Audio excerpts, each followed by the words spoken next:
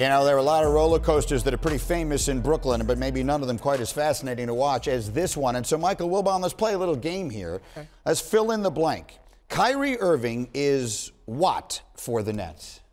Problematic. Just as he was problematic for Boston before that, and problematic before Cleveland before that. I mean, you know, there's an immense amount of talent that obviously seduces everybody in the league, in the game, in the industry, people who watch closely. But he's not accountable. He's not reliable. We have not seen an increase in those areas which you need to be that prominent a player on a championship level team. Remember, I mean, when, when he won one, he was still the second guy, and it was LeBron's team. He is much more vested, equally to me, in this situation, but he's problematic because the, the, the, the, talent is not matched by the accountability. It's a good word. What's yours, Jay? Kyrie is a must for the Nets. Yeah. And here's why. No Kyrie, no KD. No KD and Kyrie, no Harden. And as long as you see KD go to the podium and he has no problem with Kyrie playing part games, he's going to be okay in Brooklyn. Now, that doesn't mean they keep James Harden in this process after they possibly lose in the playoffs and he doesn't play, but he's a must. He's in a position of power. Stephen, what do you think, Stephen A? He's a mess. That's what he is. He's a mess.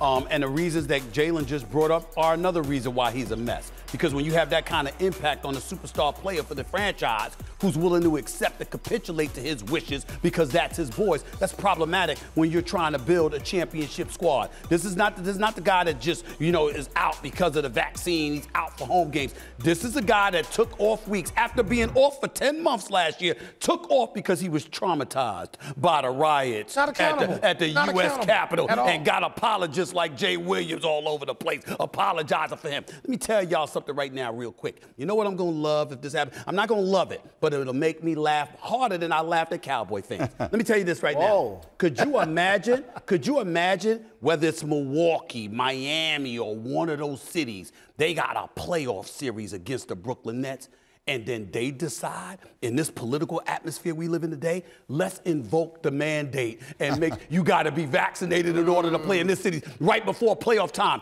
We can't listen. The money that the Milwaukee Bucks generated for that city and that state, could you imagine if somebody did that? It would have shocked me. I'll give you a sense of urgency if that doesn't happen. Say they get bounced in the Eastern Conference playoffs. Right. I don't believe the Nets allow Kyrie to be a part-time player next year.